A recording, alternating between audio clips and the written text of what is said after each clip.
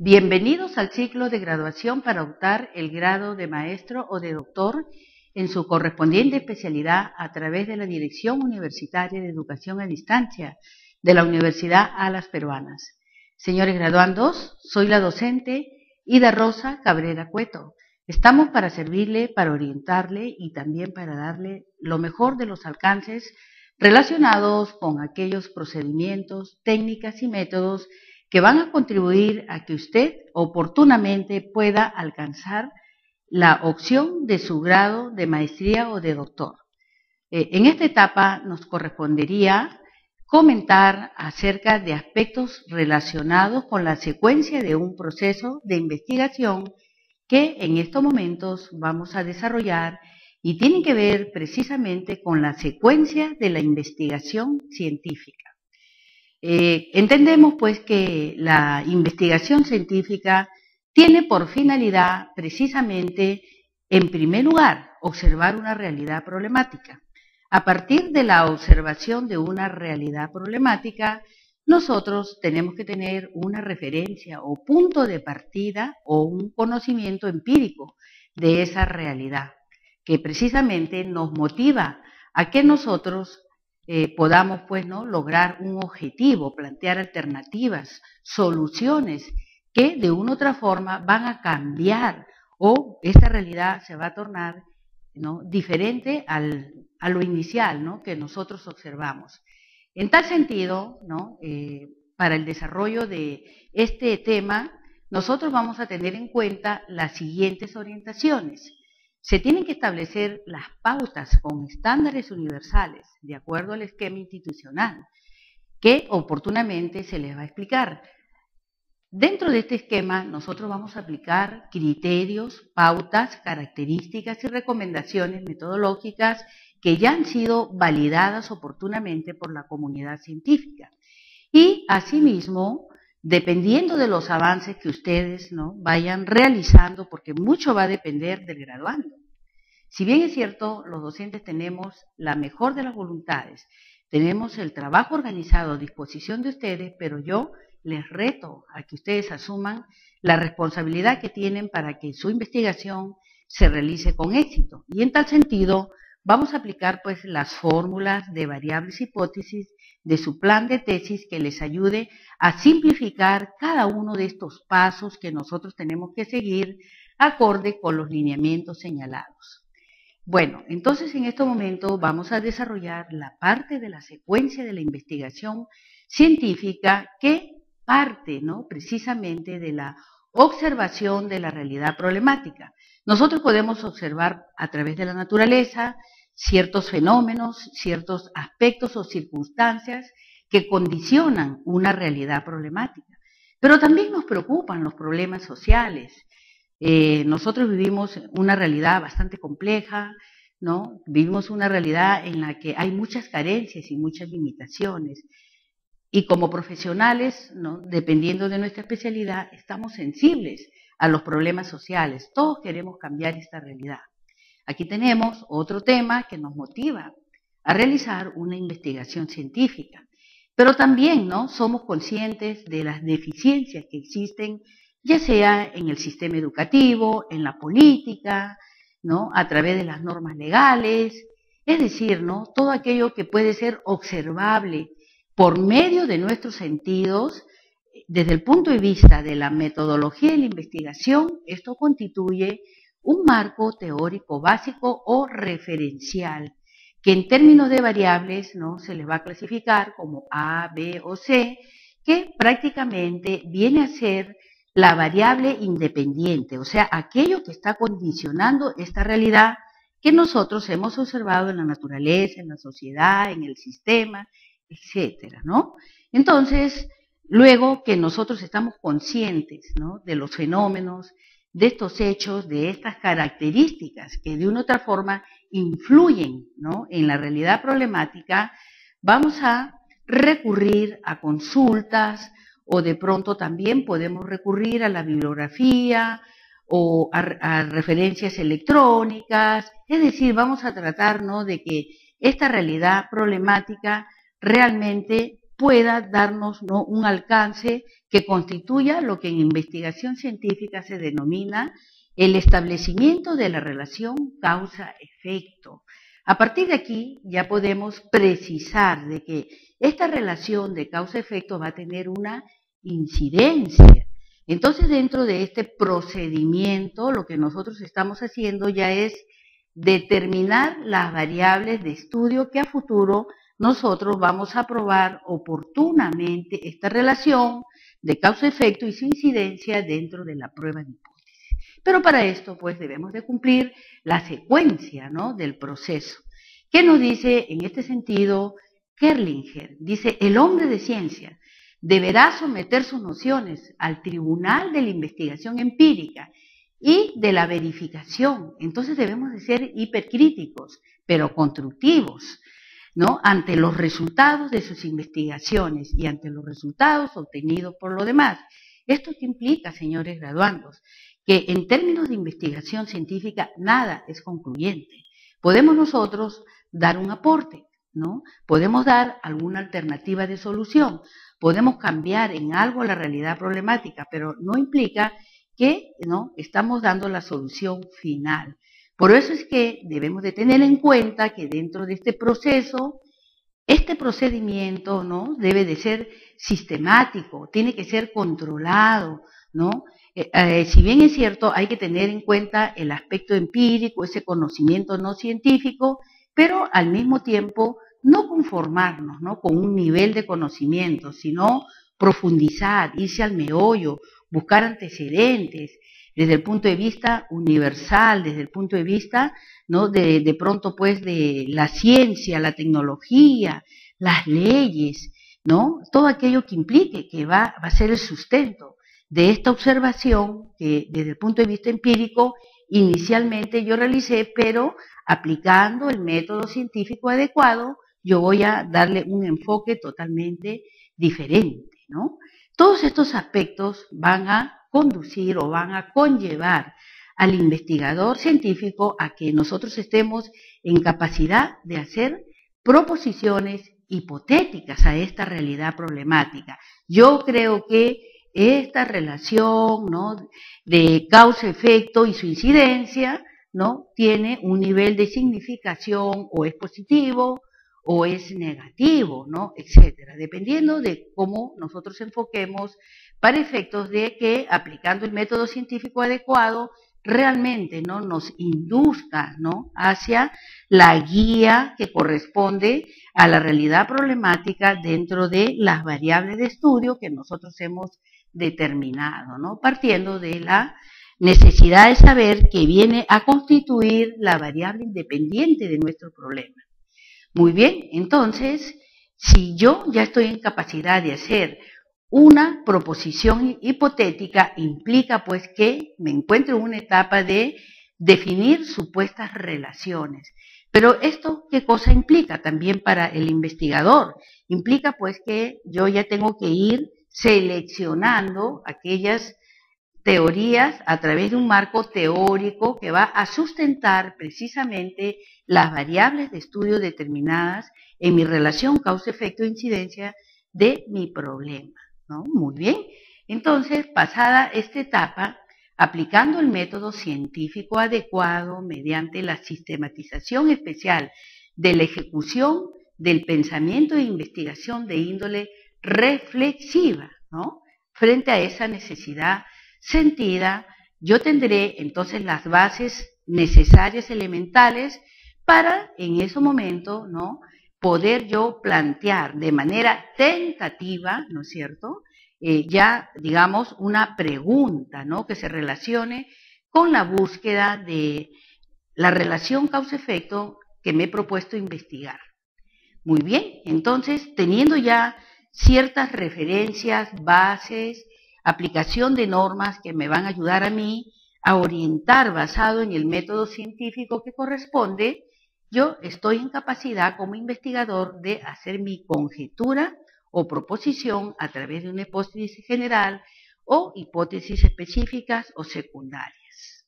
¿no? Entonces ya yo tengo recién, como podríamos decir, las bases elementales para poder continuar con mi investigación, ¿no?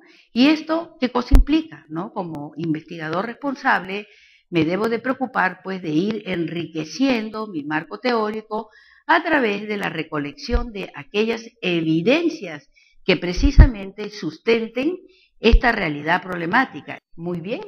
Entonces, pasada esta etapa básica, elemental, dentro del proceso de investigación científica, nosotros ya nos encontramos en capacidad de poder aplicar el método científico adecuado, de manera sistematizada, con una especial ejecución acerca del pensamiento de la investigación, pero con una índole reflexiva, crítica, constructiva, de manera que todos los aportes que yo ¿no? realice en pro de cada una de las variables de estudios, esto va a permitir pues que la relación de causa-efecto que yo ya he establecido y la incidencia correspondiente de mi realidad problemática tenga la consistencia necesaria para que esta, esta investigación pueda continuar con éxito. Entonces, ¿qué es lo que hacemos después de establecer, no? Tanto el tema, ahora en el tema, ¿no? Hemos precisado también oportunamente que es necesario, ¿no? Ya tener muy claras cuáles son nuestras variables de estudio, partiendo de la realidad problemática, el, ¿no? la relación de causa-efecto, la incidencia, así como la delimitación tanto espacial como temporal. De manera que eh, esto pues nos va a determinar y establecer que nuestra investigación efectivamente va a ser viable o no va a ser viable. ¿De qué manera yo considero que mi investigación va a ser viable? Si yo he observado una realidad problemática en mi centro de trabajo, ¿no? La viabilidad, ¿en qué consiste? En precisar o tener la certidumbre que efectivamente yo voy a poder acceder a la información que yo requiero, a los antecedentes, a los objetivos, ¿no? Todo aquello que constituye el fin de, en este caso, por el cual existe, ¿no? Su centro de trabajo, ¿no? Dependiendo de la actividad que se realice. Entonces, en esto consiste la viabilidad, ¿no? Si yo, por ejemplo, recurro al Poder Judicial, definitivamente ¿no? Tengo que establecer un nexo que me permita pues a mí solicitar, de acuerdo a lo que establece la Constitución Política, el derecho a la información pública. Y así sucesivamente me voy organizando para que el tema que ya yo tengo que ir definiendo de manera tentativa, no es definitiva, porque esto también tiene que ver con el tema de la redacción, ¿no? del tema. Luego, eh, definida la viabilidad, acorde, ¿no es cierto?, con la delimitación tanto espacial como temporal, recién yo estaría en condiciones de plantear la correspondiente conjetura o proposición, que viene a ser la probable ¿no? respuesta del problema que yo oportunamente he planteado en forma de pregunta, he definido objetivos, lo he justificado, estoy consciente de la importancia que a través de esta investigación yo voy a aportar en mi condición de investigadora. De pronto nosotros hemos escogido un tema que ya ha sido bastante estudiado, pero siempre van a haber nuevas aristas, van a haber otros enfoques y ese es el enfoque que usted va a aportar. Ahora, lógicamente que tenemos que tener mucho cuidado con los temas que son odios, ¿no? como las normas legales, a no ser que se planteen propuestas para el cambio. Son aspectos que debemos de considerar y en ese sentido, ¿no? tener mucho celo, mucho cuidado para que los pasos que demos a futuros sean pues con la verdadera convicción, certidumbre y viabilidad que requiere toda investigación científica. ¿no? A partir de que nosotros ya tenemos el tema definido, con sus correspondientes variables, la delimitación, tanto espacial como temporal, y el periodo ¿no? que nosotros vamos o venimos ya ¿no? observando o considerando esta realidad problemática, estaremos en condiciones de establecer, determinar qué objetivos realmente nosotros queremos alcanzar en este problema de investigación que nos hemos planteado a través de una pregunta. Establecidos los objetivos generales y específicos, debemos de precisar el por qué y para qué, que oportunamente ya también hemos dialogado, ¿no? Entonces, ¿esto cómo lo canalizamos? En términos de nuestra estructura, ¿no? Precisando la justificación de nuestro tema. Y el otro aspecto es la importancia, o sea, el aporte que usted como investigador va a dar dentro de esta realidad problemática. Entonces aquí ya tenemos parte de la secuencia de nuestra investigación científica, ¿no? que vienen a ser las bases, es decir, la definición del tema, ¿no? que incluye, vuelvo a recalcarles, ¿no? para que lo tengan en cuenta, esto es elemental. ¿no? Definir el tema con sus correspondientes variables de limitación temporal y espacial.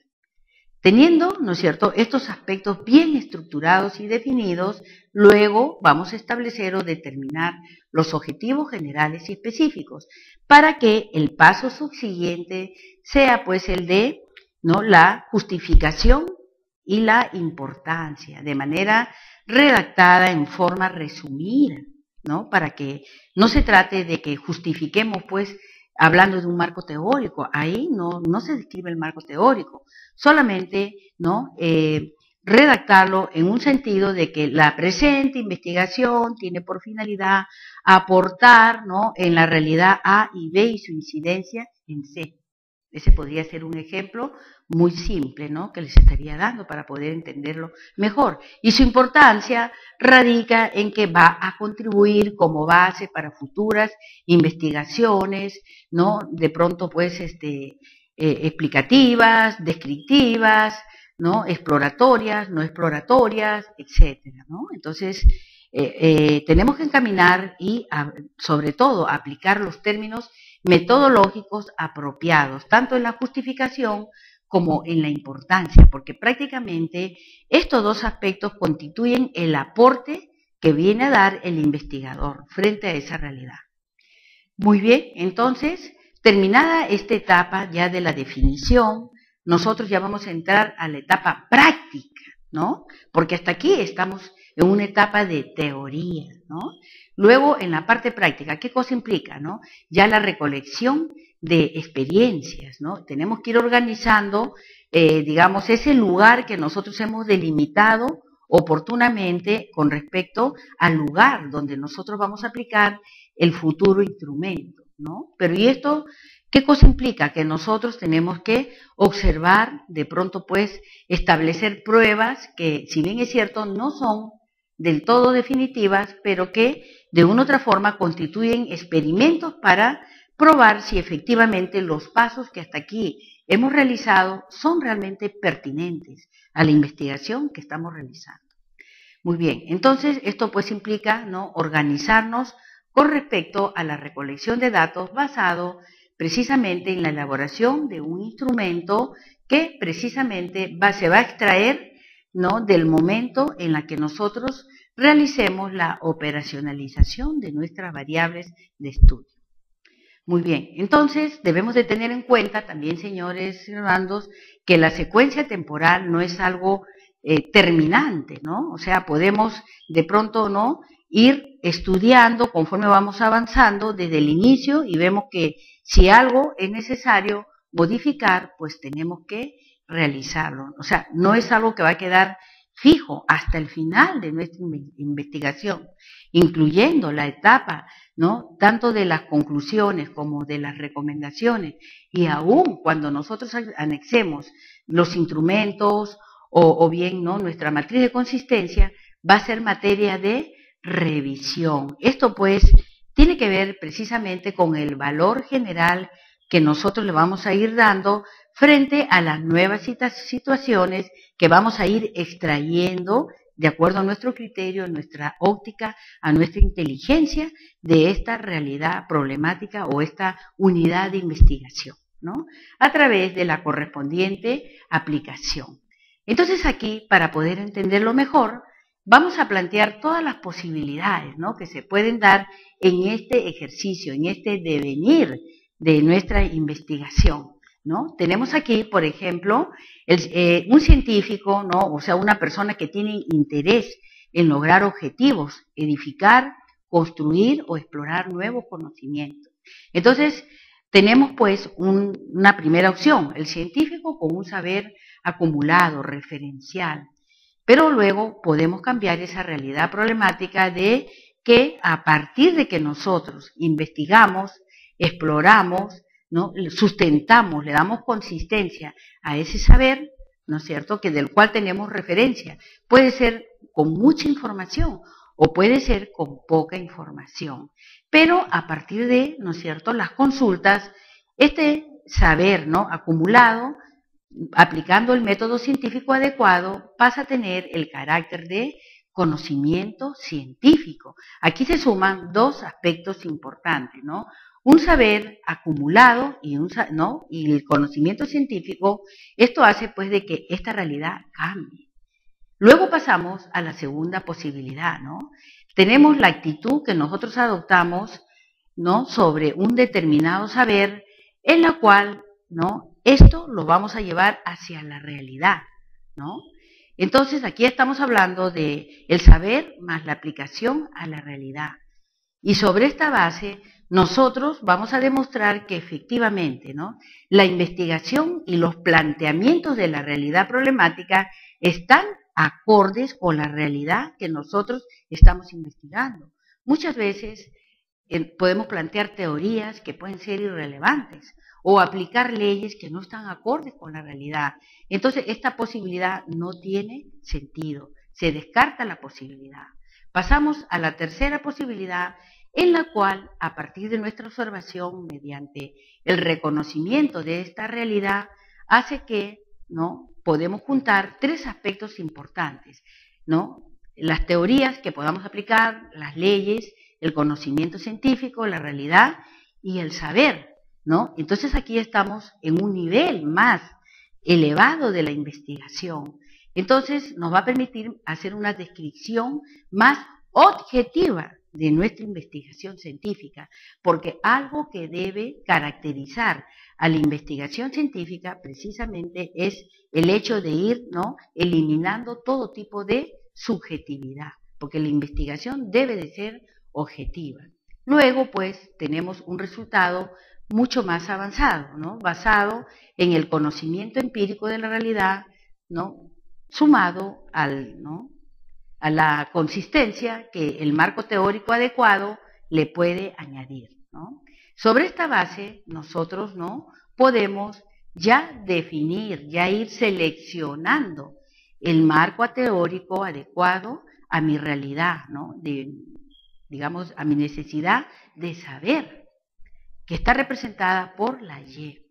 Pero hemos dicho que ¿no? hemos aplicado eh, la tercera opción, que tiene que ver con el saber empírico, ¿no? más el marco teórico consultado frente a la realidad. ¿no? Entonces, esto implica que ya nosotros tenemos identificadas las fuentes, estamos en condiciones de ¿no? tener una lectura inicial de la realidad problemática y si esto nosotros lo tenemos muy claro, estamos también, ¿no es cierto?, preparados o capacitados para poder seleccionar aquellas fuentes, lecturas compresivas, organización de la información, lecturas críticas, creativas y poder redactar ya un marco teórico consistente. Eso es un logro muy importante, pero para esto pues tenemos que cumplir, estimados graduandos, los pasos previos. Si nosotros no, no nos preocupamos de cumplir estrictamente los pasos previos de una investigación, va a ser muy difícil que lleguemos al nivel de conceptualizar, definir, hacer proposiciones y establecer relaciones dentro de este proceso de investigación que nosotros nos hemos propuesto. Muy bien, entonces ya estamos en estos momentos en la etapa de poder darle consistencia a nuestras variables de estudio ¿no? frente al tema o problema de investigación. Tenemos que recurrir, como todos entendemos, a centros de documentación, ¿no es cierto? Podemos recurrir a las bibliotecas, así como también pues a las referencias electrónicas, a especialistas, ¿no? O todo aquello que contribuya, como por ejemplo tesis, ¿no? Que, o, ¿no? que sean, digamos, desarrollado similares, ¿no? A nuestras variables de estudio, porque nosotros debemos de tener muy claro, ¿no? Las variables. Mi variable A, B y C. Ahora, la recomendación desde el punto de vista de la experiencia es que todo tema de investigación tenga muy claro su relación de causa-efecto y su incidencia. ¿Para qué? Para que su investigación no resulte siendo muy cegada en el momento de el análisis de resultado y en la prueba de hipótesis, ¿no? Que todo quede muy claro, ¿no? Existe una influencia o una relación entre A y B, pero la incidencia, ¿no? Se eh, establece en este sentido, ¿no? Entonces, luego, ¿no? De ya tener el marco teórico que corresponde basado en conceptos formales, validados, teorías, ¿no? Doctrina, ¿no? Podemos nosotros conceptualizar, definir y proponer. Eh, muchos investigadores recurren en este sentido ¿no? a las fichas, a los resúmenes, a las transcripciones, como también podemos ¿no? Eh, de pronto eh, organizar una base de datos para cada una de nuestras variables, dependiendo del criterio, del tiempo, de la dedicación y de la decisión de cada uno de ustedes. ¿no? Muy bien, entonces, en estos casos, ¿no es cierto?, una ficha ¿no? ¿Qué cosa contiene? Viene a contener el resumen, ¿no? Pero de manera, eh, digamos, simplificada, ¿no? De los aspectos más trascendentes. No necesariamente, pues, vamos a, hacer fichas, pues, muy extensas, ¿no? Debemos de transcribir los aspectos más importantes, ¿no? Por ejemplo, la idea principal, ¿no? De este autor sobre mi variable de estudio. ¿no? Cómo lo dice, cómo lo plantea, ¿no? Esto se tiene que hacer de manera sistemática, articulada, ¿no es cierto? Siempre haciendo mención, respetando los derechos del autor, el título y preferentemente la página, ¿no? Muy bien, entonces eh, existen fichas de resumen o transcripción como también fichas de análisis, o sea, hacer todo un extracto, un resumen, que es lo que también nosotros recomendamos, ¿no? A través de las lecturas que semanalmente se les asigna, que practiquen el análisis, los resúmenes, las conclusiones para que en el momento de desarrollar su tema de investigación, pues ustedes ya tengan esa práctica permanente, ¿no? Pase a ser como algo normal, algo cotidiano en su ejercicio profesional, que eso no solamente les va a servir para lograr el objetivo de optar su grado, sino también para, eh, ¿no? Eh, dentro de su praxis laboral. Esto ayuda mucho, ¿no? El análisis, la observación, las conclusiones, los resúmenes, ¿no?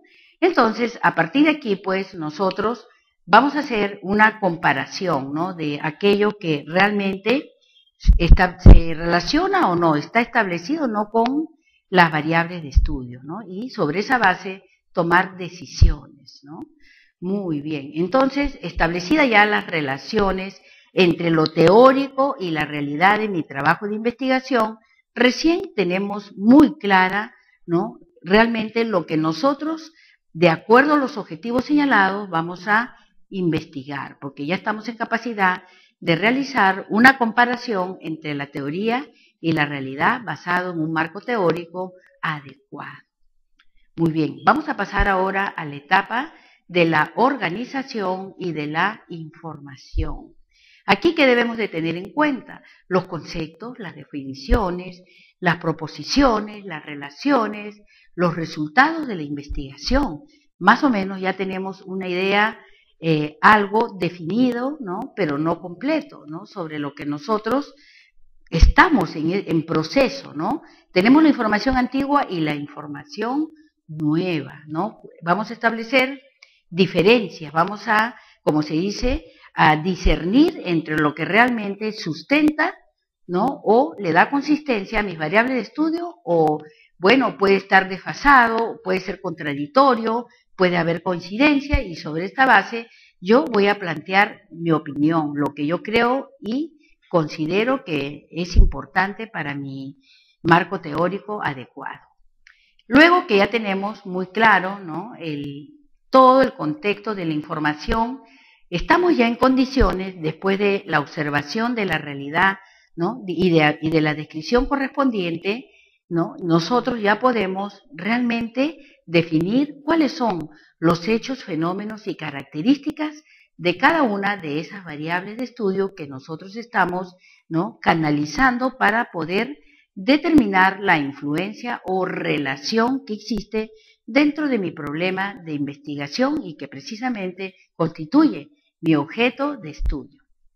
Muy bien, pero ¿es suficiente hasta aquí lo que nosotros hemos desarrollado en relación a la exploración bibliográfica? No, vamos a seguir constantemente, no solamente en relación ¿no? a las variables de estudio, sino también bibliografías metodológicas que nos ayuden a seguir la secuencia acorde con la estructura del formato o la solicitud o el, el, plan de tesis o la tesis que se requiere en cada una de las instituciones educativas donde vamos a optar nuestro grado correspondiente, ¿no? En este caso, nuestra Universidad Alas Peruanas, con ese ánimo de colaborar, de contribuir, ¿no? Con las exigencias que requiere nuestro país desde el punto de vista de la competitividad, pues nosotros tenemos una estructura que es muy viable. Si bien es cierto, ¿no? Eh, no es rígida, pero sí está acorde con ¿no? las exigencias que se requieren dentro de los estándares científicos universales que han sido validados y reconocidos por la comunidad científica. O sea, todos aquellos aspectos que a mí como eh, investigador científico me permitan lograr mi meta, ¿no? ¿Cuál es el de optar mi correspondiente grado? Tratando pues de hacerlo viable. Esa es ¿no? la política y el criterio que desde el punto de vista social, ¿no? nuestra Universidad ALAS, a través de la Dirección Universitaria de Educación a Distancia, del Vicerrectorado de Investigación y Posgrado, ¿no? les invita a cada uno de ustedes a perseverar, ¿no? A que ustedes se esfuercen en lograr esta meta que es muy importante y que les va a traer muchas recompensas y satisfacciones. Se lo digo por experiencia, ¿no? Muy bien. Estamos ahora en la etapa de análisis y síntesis de teorías. Pues aquí, ¿no es cierto? Como ustedes pueden ver, en cada uno de estos cuadros estamos hablando, en primer lugar, de la realidad Y. Hemos dicho la realidad Y es la variable dependiente, ¿no? Nosotros vamos a tratar basado en el marco teórico, porque el marco teórico es sustancial para una sustentación de tesis, porque me va a permitir a mí demostrar al jurado que efectivamente conozco mi realidad problemática y que aquello que yo estoy sustentando para la defensa de mi, de mi tesis tiene fundamento teórico, científico. Por eso es importante, ¿no? Entonces nosotros, dentro de este análisis, y síntesis de teoría, que puede ser la teoría P, D, M, N, nosotros vamos a tratar pues de que efectivamente esta realidad problemática tenga, ¿no? Basado en el método científico adecuado, el sustento científico. Muy bien, pero no quiere decir que vamos a tener en cuenta todas las teorías, imagínense ustedes, ¿no? No, o sea, no, nos alcanzaría el tiempo y la investigación sería muy extensa. Tenemos que seleccionar las, las teorías, leyes, normas, principios que ¿no? se acerquen más a la realidad problemática en estudio.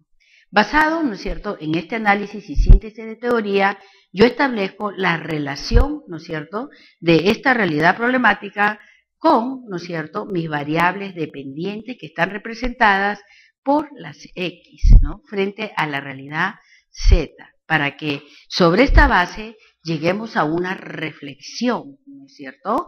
En realidad, ¿no? Basado en este análisis y síntesis de teoría, esta realidad problemática guarda relación con ¿no? mis variables de estudio dependientes, qué tipo de relación existe frente a esta realidad problemática en la cual hay una, incidencia y que nosotros deseamos que esta realidad cambie.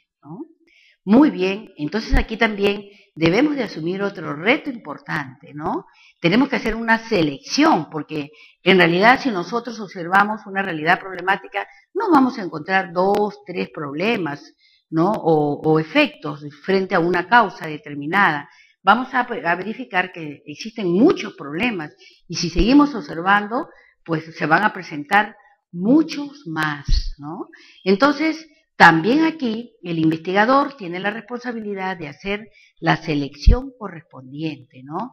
Puede haber todo un bagaje de efectos de esa realidad problemática, pero debemos de ser también realistas, coherentes, ¿no? Entonces debemos de seleccionar, ¿no? Porque la delimitación en todas las etapas del proceso es también muy importante ¿no? para el logro de los objetivos frente a una realidad que en este caso de la explicación está representada por Z. Muy bien, hecha la selección de todo este bagaje de efectos y problemáticas que inciden dentro de mi realidad de estudio o de mi unidad de investigación, entonces yo recién estoy en condiciones de poder definir o plantear un problema de investigación.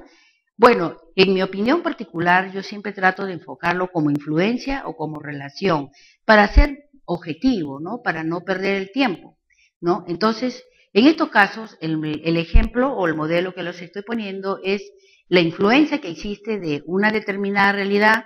Aquí hemos puesto diferentes incidencias, pero en la praxis normalmente la idea es que, ¿no? Eh, frente a una eh, variable independiente, la correlacionemos de ser el caso con dos efectos, ¿no? Entonces, según pues el método que vamos a aplicar. En este caso, nosotros estamos planteando cómo influye X1, X2, X5 en el comportamiento de Y de la realidad Z, ¿no? Es una fórmula o un ejemplo que nosotros estamos planteando, ¿no? Entonces, planteada ya esta realidad, inmediatamente, una vez que seleccionemos, estamos aconsejando, mejor dicho, ¿no? Preferentemente dos, ¿no? Eh, digamos, eh, variables dependientes. Entonces, tenemos que remitirnos de inmediato a los antecedentes históricos ¿no? o teóricos de eh, estas realidades, empezando ¿no? de la variable independiente.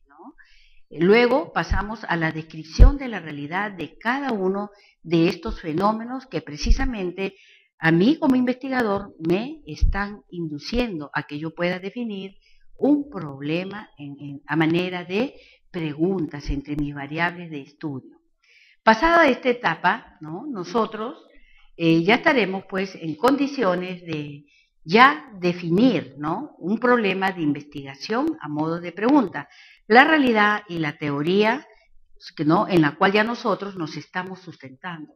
Como se dice, tenemos que plantear un problema con conocimiento de causa, ¿no? con propiedad. Sobre esta base, estimados graduandos, ¿no? cuando ya tenemos muy claras las variables, las delimitaciones del caso, recién estaríamos en condiciones de hablar de supuestos teóricos, pero no es lo definitivo. Todavía estamos en una etapa previa ¿no? de lo que realmente ¿no? se quiere lograr en la investigación. Pasado el supuesto teórico, o sea, primero la realidad, el problema y el supuesto. Estas son las, las bases previas o momentos previos para que podamos formular una hipótesis de investigación. Muy bien, entonces, pasada esta etapa en la que ya nosotros ya tenemos muy claro ¿no? los objetivos, la justificación, la importancia, ya hemos planteado nuestra correspondiente ¿no? realidad problemática, los problemas tanto principales como problemas secundarios, ya nosotros tenemos que ir organizándonos de tal manera que ¿no? podemos ya ir estructurando también de manera tentativa, pero no definitiva, ¿no? ¿Cómo vamos a administrar este problema de investigación? ¿no? Entonces, tesis 1 precisamente tiene este objetivo, ¿no? Darles todas las pautas, ¿no? Establecer los procedimientos necesarios para que usted, ¿no? Cumplido los pasos previos desde la definición del tema hasta ¿no? el planteamiento de, eh, ¿no? O perdón, la formulación ¿no? de su hipótesis, ¿no? usted ya pueda empezar a definir o tener las bases adecuadas para poder describir sus variables de estudio, tanto la independiente como la independiente. Aquí tenemos ¿no? prácticamente un enfoque de lo que podría ser la administración de su problema de investigación que le va a servir a usted de base para el desarrollo de su tesis. Entonces, nosotros tenemos que, una vez que se cumplan las bases ¿no? requeridas del plan de tesis, eh, lo que nosotros vamos a hacer es elaborar ¿no? toda la secuencia del el plan de tesis, que ustedes ya lo tienen, eh, digamos, a disposición en, el campus virtual, ¿no? que es lo que vamos a explicar dentro de unos segundos. Muy bien, entonces eh, elaboramos ¿no? todos los procedimientos previos para la aprobación del proyecto, que en el caso de la Universidad a las Peruanas, a través del Vicerrectorado de Investigación y Posgrado, ustedes van a, a obtener una resolución de aprobación de ese plan que cumplió las etapas previas para el desarrollo de una tesis. Luego vamos a organizarnos para implementar todos aquellos aspectos que me van a mí a inducir a que dentro de los pasos subsiguientes del desarrollo ¿no? de mi tesis yo pueda ¿no? tener, digamos, un tiempo adecuado para ¿no? la recolección de datos, el análisis de datos y así sucesivamente hasta llegar hasta las conclusiones mediante la ejecución, el reajuste, la elaboración del instrumento, la administración de los instrumentos, el procesamiento de los datos, el control, la evaluación, ¿no? que eh, al final pues yo no pueda presentar y hacer la exposición correspondiente de mi plan de tesis para que el docente me pueda entregar el informe final de la aprobación que oportunamente va a ser aprobado mediante resolución del Vicerrectorado de Investigación. Entonces, como podemos ver, pues, estimados este, graduandos, ¿no? Tenemos que ir proyectándonos. Este es un tema que no requiere, digamos, un descanso, eh, no se realiza por etapas, es una secuencia, ¿no? Lógica, ordenada, pero a la vez también, ¿no? No se puede interrumpir el proceso. Teniendo ya muy claro. La administración del proyecto, ya también tenemos que ir organizándonos con el aspecto del presupuesto en cuanto al personal, los bienes, servicios que vamos a invertir dentro del desarrollo de este proceso. Luego vamos a pasar dentro de breves segundos a, poder explicar cada uno de los aspectos que tienen que ver precisamente con los formatos relacionados para la estructura de su plan de tesis. Muy bien, entonces, estimados graduandos, les agradezco su atención en esta primera etapa de tesis 1. Volvemos en unos momentos. Gracias.